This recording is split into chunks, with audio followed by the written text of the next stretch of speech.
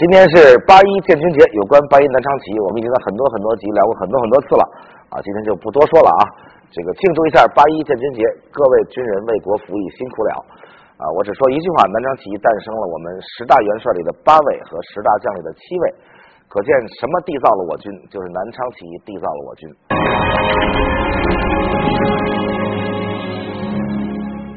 我们来讲讲一二九一年的这一天啊，瑞士独立。大家首先想起瑞士，先想到的是啊中立国啊，然后想到的是瑞士银行里存着很多钱，然后想到是瑞士手表以及能开瓶子、能干各种事儿的瑞士军刀。但我觉得最值得讲的就是，瑞士从一八一五年之后，它地处欧洲。最中心位置啊，欧洲打了那么多仗，在那之后，欧洲不停打仗，不停打仗。欧洲是啊，随着科技的进步，随着工业的进步啊，随着文明的进步，用战争检验文明的最重要的地区啊，瑞士一直保持着繁荣跟富强发展着。尤其是两次世界大战啊，一战、二战把中欧的各个国家都打得糜烂。一战以后，整个法国也打瘫了啊，德国也打瘫了。啊，意大利二战也打瘫了，这些国家都是围着瑞士的啊。这世界历史上有很多国家说我中立，你说中立没用，我就要打你。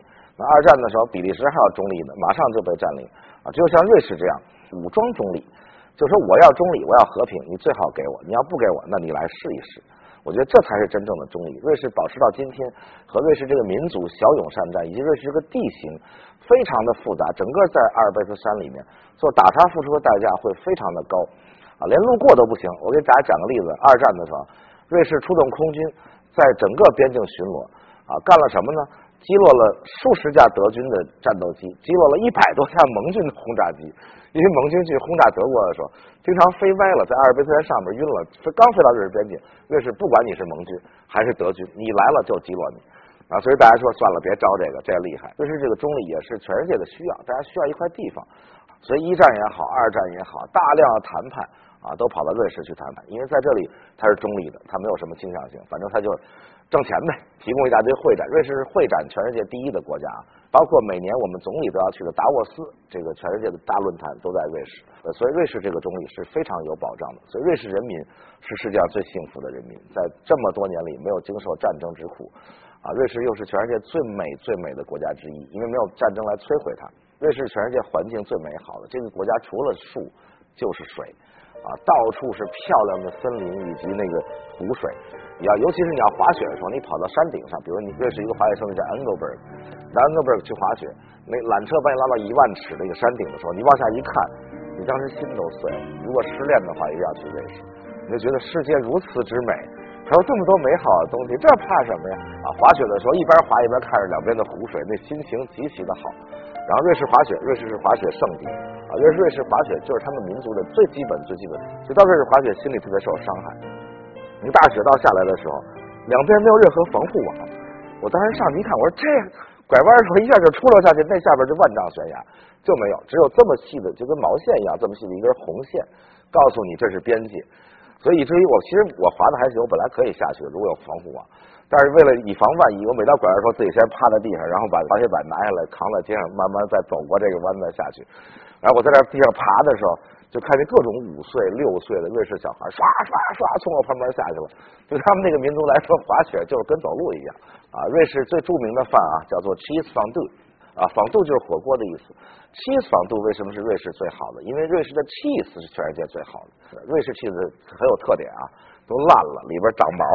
乱出各种洞来，然后蓝了吧唧的那种毛在上头，但是切开了特别好吃，不像美国 cheese 长得倍儿漂亮，一吃没那味儿。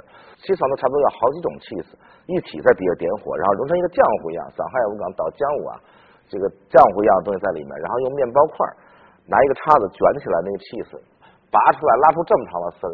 大家要去吃饭的时候看 cheese 防度好不好，就看这拔这丝儿，只要这丝儿拉的长，就说明 cheese 防度做得好。我曾经非常倒霉的在瑞士的一个古老的饭馆里被轰了出来，为什么呢？因为 cheese 防度在西方，在德国，在英国，在美国有很多。美国有一个大的连锁的 cheese 防度的店，叫做呃 melting pot，就是融化的锅的意思，在美国大城市全都有。因为在美国改良过，所以它涮很多东西，不光是面包块，还有点别的。你有可能有香肠啊，有什么蘑菇什么之类的玩意儿，土豆。然后我进去以后坐那儿，人家给我上 cheese 防度，一上来只有面包块。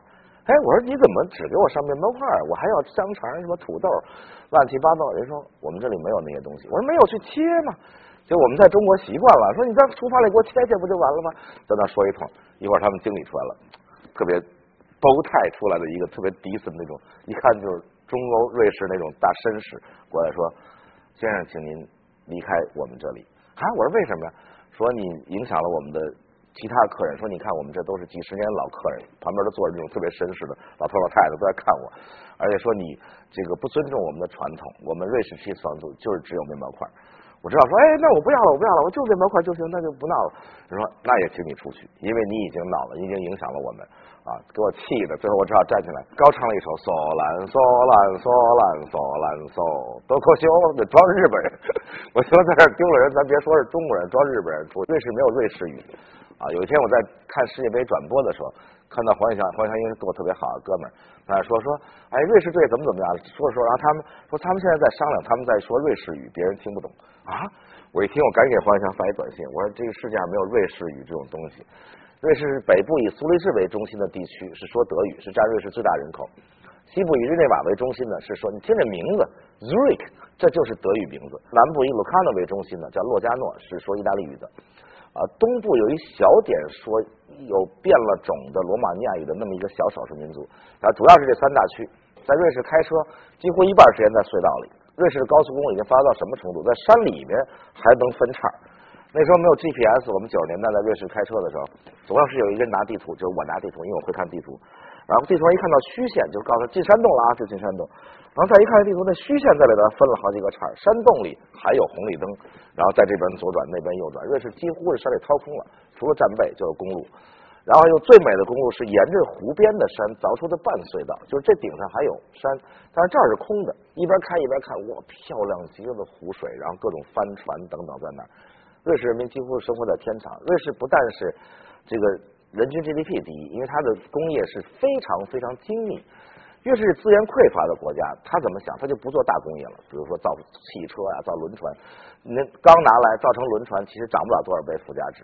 同样一块钢，他拿来造手表，大家想想，一块钢造成手表卖出那么贵，这附加值太高了。瑞士手表世界第一。瑞士都是这种非常精密的工业，包括它的瑞士刀，都是世界上最精密的，打开来能干无数事儿。基本上出去旅游，你带一把那就够了。从开这瓶子到开那瓶子到干什么的都行，剪刀什么都有。所以瑞士的经济是非常的发达。啊，瑞士的人均资产世界第一，为什么呢？大家知道瑞士银行因为中立，所以战争期间大量的钱都往瑞士存。啊，战争以后所有贪污犯都往瑞士存。啊，马克思夫妇菲律宾的大贪污总统啊，那几十亿美金都存在瑞士银行。瑞士银行当然也有一些做的不对的地方啊，就是啊大批的犹太人的财产存在瑞士银行里，但是后来战后因为犹太人被纳粹屠杀的一塌糊涂。啊，最后很多人就无头了。那些钱瑞士特高兴，说钱就没人来领。六百万犹太人被杀了，犹太人都很有钱啊，就不管了，就在那存着。然后谁来要也不给，以色列来要也不给，说这是人家个人的财产，存在我这，人死了，人没人来要。啊，这是这件事一在国际上很大的争议。但瑞士一直说，我为什么能提供全世界最好的金融服务，就是因为我这个保密。啊，包括纳粹的钱存在这儿，他也不让你查。啊，犹太人钱存在这儿，他也不让你查，他就是这样一个国家。啊，反正他也不怕你，你说什么我也不听你的。